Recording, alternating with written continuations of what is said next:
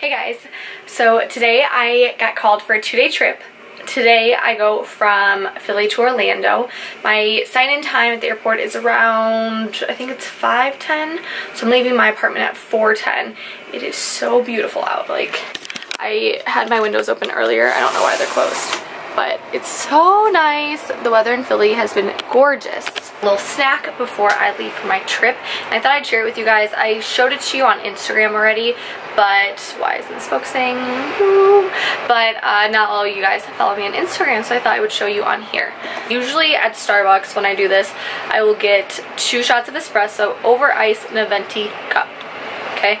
And when I'm at home, I just put a little bit, I don't have an espresso machine, so I just put a little bit of coffee and mix it that way. So this is the Premier Protein Caramel. I'll leave a link for it listed down below, um, but it's so tasty. So I'll mix that together, put in a scoop of my collagen peptides, and throw in some ice. Just a great snack. It really holds me over and it tastes so dang good. It tastes, I love caramel macchiatos from Starbucks, but you know they're not the most healthy. So this is like 10 times better and probably one third of the calories. Kind of talk to you guys about a few things because changes are happening people changes are happening so a lot of you guys are asking for an updated self tanner routine i'll probably do that when i in the next few months but um, I just wanted to share this little tip with you guys. I use the Loving Tan Ultra Dark Deluxe Bronzing Mousse. Stuff is amazing. Make sure you get the Ultra Dark though. Um, I use a mitt for my entire body, except when it comes to my face, my hands, and my feet. I use a makeup brush. It's just a little tip for you. Circular motions buffing into the face. Um, it's just a tip because it does like more of an even application for those like spots like on your hands um, in between all that good stuff. So I know you guys want an updated one. I'll try and do that. I just wanted to throw that in there. Um, I do have a discount code for Loving Tan to get a free mitt and I will leave that listed below. Also let's talk about I kind of tempted you guys saying I put in my transfer. So guys I got my transfer um, I am moving out of Philadelphia. Lease ends on April 30th. How crazy is that? Oh my gosh. Um, so yeah, we're leaving Philly. The next few vlogs, maybe the next vlog, I'll probably tell you guys. So I'm really excited. I'm so happy. A lot of people got their transfers. Um, the pretty passenger, Ashley, she got her transfer to Dallas, I saw, but we're hiring so many people. So uh, the way it works is the transfers that are in have to go through before they give um, that base, before that base is available to the new hires, if that makes sense. Obviously, like that's how it should work. If people have been transfers, they should get first dibs before the new hires. Makes sense, right? With that being said, that I'm moving, um, I have been a little absent on Instagram, social media, because I'm moving, I'm busy, and um, yeah. Welcome to Orlando. We just got into our hotel. It is, what time is it? 11.10. We were delayed. Um, this hotel room is actually really nice. Let me show you. you walk in, look at this lighting. Nice shower really nice mirror. Closet. We good. And then look at this lighting. Nice ambiance. Got another mirror here. All the goods. Fridge, no microwave, crappy. And it's dark out. We're delayed coming in here. I'm not really sure what happened. Oh, let me just put you guys down. Like I said, I'm not really sure what happened. It was just like a mess. Um, we were supposed to be on one aircraft. They switched it to a different aircraft. You know, who really knows? So we were an hour and a half delayed. Um, we came from Philly to Orlando and we were supposed to get in originally at 8.48 and it is now 11.12. Um, so our flight tomorrow morning was supposed to be at 9 9.01 It's pushed back till 9.30. So that's another reason why delays can happen too. Crew rest. Um, we have to have at least eight hours behind the door. So that's why our flight is delayed. It's not always maintenance or mechanical. We are flying on the 767 today, tomorrow, and then we switch to the A330. So um, I prefer, for those of you who care about planes, I prefer the A330. I love them all. They're all beautiful planes, but I just prefer the A330. A really good crew though. I wish we had more than the time that we have because I would love to hang out with them. Um, the sweet girl, I saw her on standby yesterday her name's Sam and we were talking on standby and I wanted one of the blue coats that our uh, company has. I didn't end up getting one and they're all sold out and she had one and she said she didn't want it and so she gave it to me and she brought it. She was like, yeah, I saw that you were on the trip so I just brought it for you. How stinking sweet is that? Um, so I got a new blue coat. Should I show you guys? I'll show you real quick. Standing on the toilet. But here it is. It is company issued, so you guys can't get it. Um, but it's nice and long, and I love it, so thank you. So that is it for me tonight, guys. I am going to hit the hay. I'm pretty tired. Um, and tomorrow we have a long day. If we do keep all the same flights, we have to go from Orlando to Philly Philly to Charlotte, Charlotte back to Philly, and we don't get in until 8 something. And then I'm off for two days. Hit the hay before I totally like lose it. We have to be up early. Our van's at 8, so I have to be up at like 7.15. 7? No, 7.15.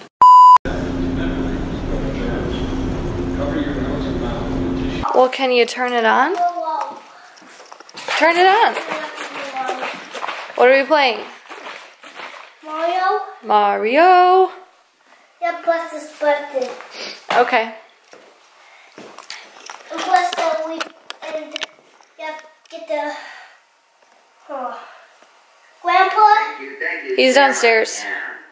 You want me to do it? Oh yeah.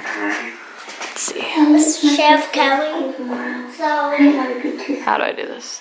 Let's try this one, maybe? no, it's not. Okay. Um. The um. Which one is it? That's one. This one? Yes. Look it, you're so smart. Yeah. All right, let's do it. That's yours. That's your Kelly. That one's mine. All right. Okay.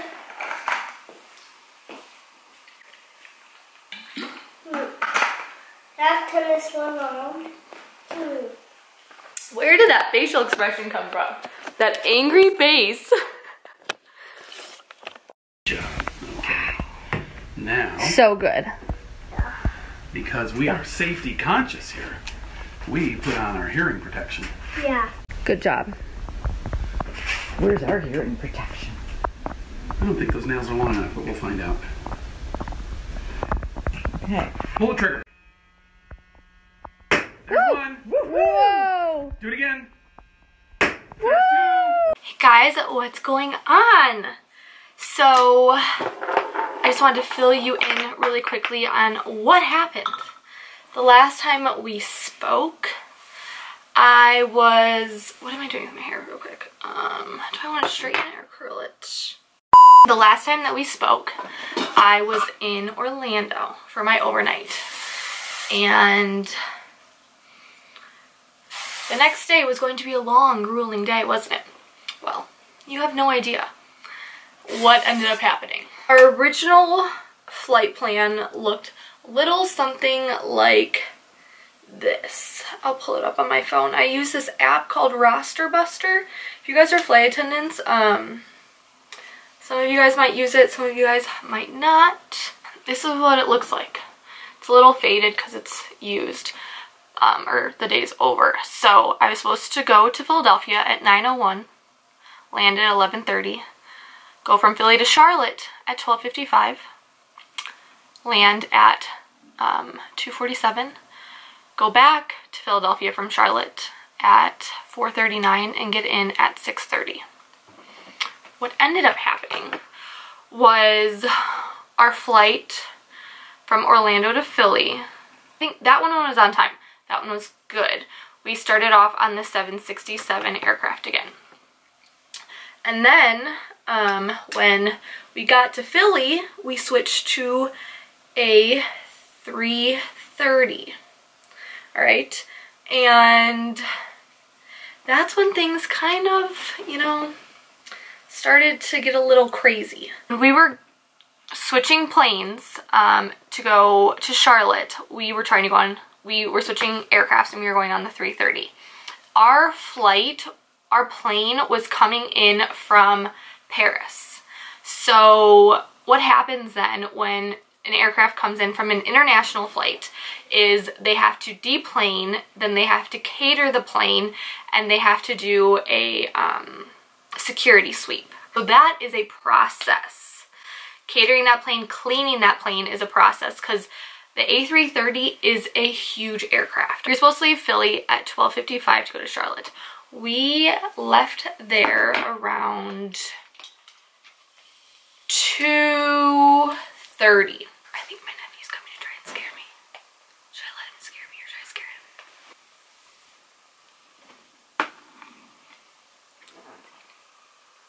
You just hear him breathing. I hear you. Hi. Boo! I was gonna try and scare you.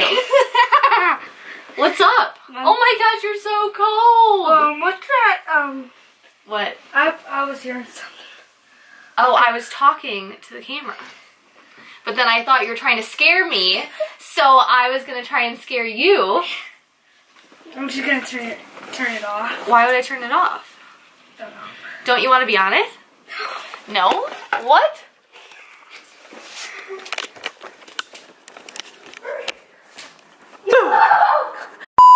Okay, back to what I was saying. We are waiting for the plane and it finally shows up. They do all that they have to do, get to Charlotte. And our plane is coming in from Madrid. And that flight was delayed. We were supposed to have a two hour sit in Charlotte, which means that um, it's just time in the airport where you sit and uh, wait for your next flight. We do not get paid for it. We only get paid for the per diem, which is, um, I think we get 220 an hour per diem.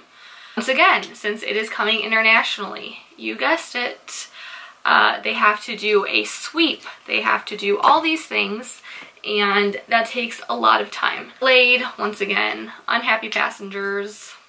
Don't blame them one bit. And we don't get into Chicago, or we don't get into Philadelphia now. Remember what time I said we were supposed to get at 6 something? And almost all of us were commuting home. Um, we didn't get in until around 8.30. So, it was a little bit of a day for us. Um, I decided to jump on the last flight out from Philly to go to home here to Chicago and that was at 9.30 so you better bet my butt was running. We had to go, if you guys are familiar with the Philadelphia airport, I had to go from A to C, or I'm sorry, A to B16 and it was a hike and it was a lot so you know. I made it I got a seat and then last night my mom and aunt picked me up. They, now I'm here today so my HelloFresh box came today I have three meals in it let me show you guys what we'll be cooking so I have the Mexican chicken and rice bowl balsamic fig chicken this is what I'm about to make the barramundi and scallion sriracha pesto. It sounds a little spicy, but it looks good. It has all of the ingredients that come in the bags. Around 30 minutes to make. So I have everything in the fridge. This is the one that I want.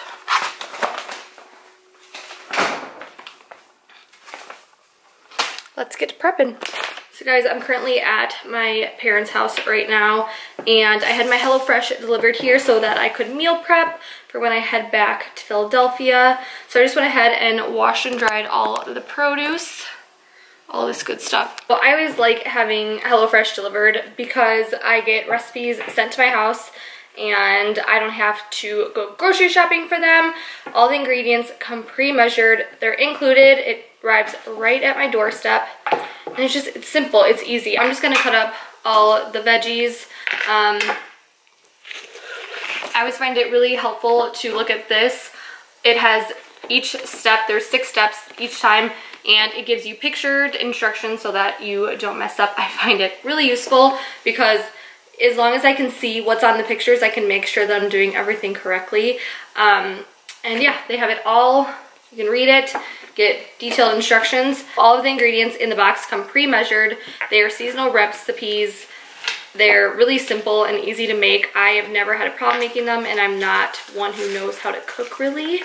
So if I can do it, you guys can definitely do it. When I say that they come pre-measured, here's an example. So this is the bag that everything comes in. There's my oven is ready.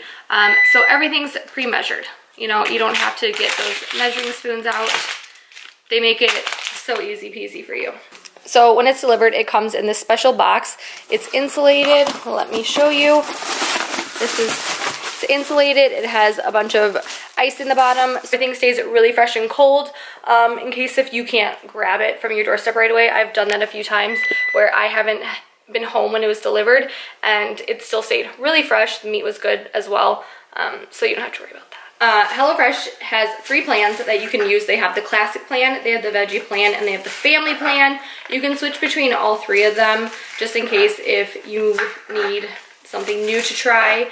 Um, your taste buds are needing some new flavors like I told you guys, every meal comes together in 30 minutes max amount of time and and all of the recipes only call for less than two pots and pans, which is really helpful for me when I get my delivery in Philadelphia because I don't have a lot of counter space like I do at my parents' house and I only have two burners. So it's perfect and it requires a lot less cleanup. And this can be good. I'm making it for my mom. She just called me and said she was on her way home and she's hungry. Uh, I'm also cooking the other one so that I can meal prep for when I get back because I don't know if I'm gonna get called for work. It's too late to go grocery shopping or anything. So it's also I love this. If I don't have time, they just deliver it right to my door. It's perfect. So I have the Brussels sprouts, Brussels sprouts ready. They just go in here for 15-20 minutes to brown.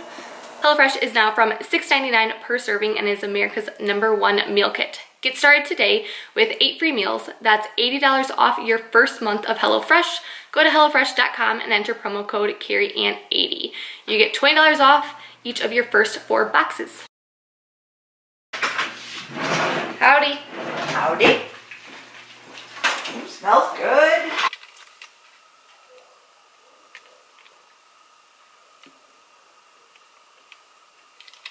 Thank you to HelloFresh for sponsoring and collaborating with me on this video.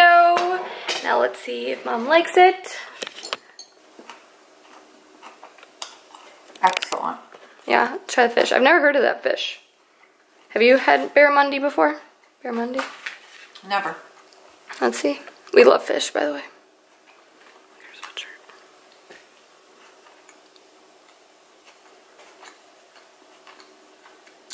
Very good. Very good. Not fishy. Meaty. Really good fish. Really good fish. It was a few days after we spoke last, and that night, after I prepped my food, I was taking a flight back home to Philly. Normally we'll take the 10 o'clock flight out of Chicago to go to Philly, but I took the 7 o'clock flight. Everything was really smooth. I'd get into Philly around 10, and I thought it would just be great, okay? I was on time, everything was good. And then, this happened. I have a few clips from what happened, but basically when we went to take off on the flight, something happened with the takeoff and they, the pilots just like stopped. Um, so this was the voiceover. I'm not sure if you guys will be able to hear exactly what they're saying. Um, a lot of people were talking in the background on the flight because people were kind of freaking out. I'm gonna play that right now. And decided to uh, stop the takeoff and come back around and uh, check something out here. We're taking a look at it now and uh, checking our fuel and uh, I'll get back to you in just a few minutes. Thank you for your patience, but uh, in honor of safety, uh, we're going to sit here and check this out. So I'll get back to you in a few minutes. Thank you very much. Actually have a, an issue here and uh, we're going to have our maintenance personnel check it out. I'm not sure exactly what will happen once we get there. We'll, we'll figure it out and we'll get you to Philly hopefully this evening. Uh, once again, thank you for your patience. So remind you, I was at home and I was on call the next day. So after the pilots came on and said, said that, we went back to the gate and had maintenance look at the plane. I gotta tell you, it was a little scary. Um,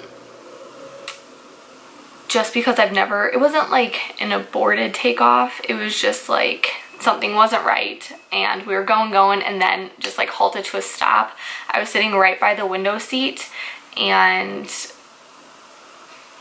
it, like I just saw grass and I was like, oh my god, are we about to go into the grass? Like what is happening right now? And the lady next to me started crying, like people just started crying I was like, oh my gosh, like we were all okay, everything was fine. So we went back to the gate and we had maintenance take a look at it. We didn't end up leaving Chicago until about 9.30. And then we land in Philly, I think it was around midnight. Yes, midnight, mid-30. And I Uber to my apartment. I show up, and I've lived in the same apartment for an entire year, and I've never had this happen. But everyone was evacuated from my apartment. There were fire trucks everywhere and I guess there was a fire in the building. I never saw it. I never asked about it. I was so tired. I was exhausted. So I get to my apartment building and I can't go inside. I'm like, oh my goodness gracious. Of course this would happen. I'm on call tomorrow morning. I think I went to bed around two or three because I got back to my apartment around 1 when this was happening. And all of a sudden, what time did they text me? 4 o'clock. No, 3 a.m. I get a call from crew scheduling. And I have a trip. I was literally on two hours of sleep and it was such a long trip. So my report time was, I had to be there at, I think 6, no, I had to be there at 7.10. So it was a three day trip. We went from Philly to Dallas, Dallas, and overnighted in Orlando the first night. We were delayed all day. Um, we had minimum rest going into Orlando again.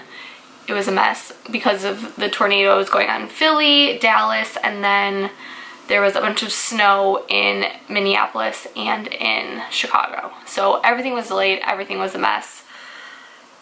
I didn't vlog any of this because I was just so tired and I just was like, no, I can't. Day, we went from Orlando to Dallas, or I'm sorry, yeah, Orlando to Dallas, Dallas to San Antonio. And we had a really long layover there.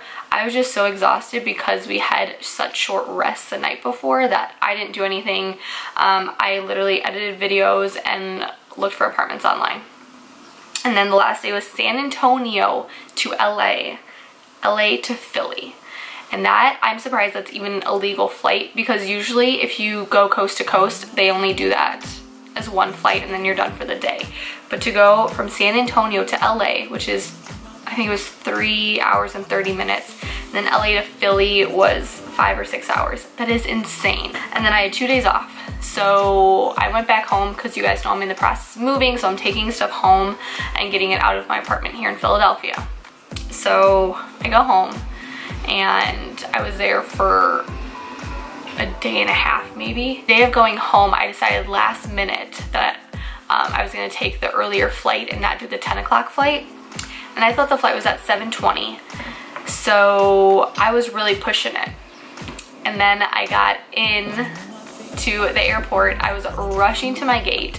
I had 20 minutes to get there um, before the flight was supposed to take off. So, you know, the door closes 10 minutes prior to departure if they're able to, usually they are. So I had 10 minutes to go from KCM to my gate. I thought my gate was, what did I think my gate was? I thought my gate was K16. So I am hustling and I'm just making it two minutes prior to door closing time.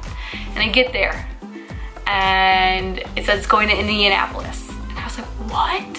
So I look it up and I was supposed to go to H14.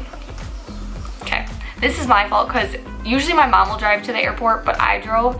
And usually while she's driving, I'll like double check everything. But I was like, okay, I looked, like I know it's K.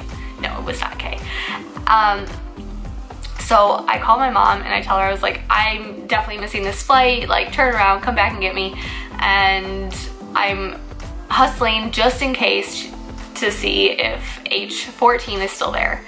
And mom's like, okay, I'll see if the flight's delayed, blah, blah, blah. So I am hustling my butt off, literally like dripping in sweat. It was absolutely disgusting. And my mom calls me and says that the flight was supposed to leave at 7.08. And here in my head, I was like 7.20, I'm already missing it. But I was like, oh, it's long gone if it's 7.08 but she said that it was delayed until 7.15 so for me to hustle and get there and make it there no one's even boarded I was like what on earth and they just kept pushing back the delay and pushing back the delay and long story short I got on the flight I made it back to Philly it was good and I did not get called. I have not gotten called in a week. I'm hoping I don't get called at all because there's just so much going on right now. That was a little story time. There's not a lot of action in this. I wish I would have been filming these trips because things just kept happening. Going through Dallas, like all the flights were delayed because they were coming from Chicago and then Chicago had snow and it was just one thing after another. It was crazy. So like I said, sorry there wasn't much action, but I'm sure a lot of you guys had issues. I met, met Miss Kathy in the Dallas airport and she had been stuck in the airport for I think 16 hours she said. Like there were so many delays. The customer service line was just around the corner. It was crazy. So sorry for all the delays. There's a lot going on with weather. Blame it on the weather. Um, but I hear you I'm feeling it too. So that's it. Um, the next vlog I'm sure I will be telling you much more about where we're moving, what we're doing, all that good stuff because I have only seven more days here in Philly and then we're off. So next few vlogs will be very interesting. Stay tuned. Hope you guys enjoyed and I'll see you guys in the next one. Bye.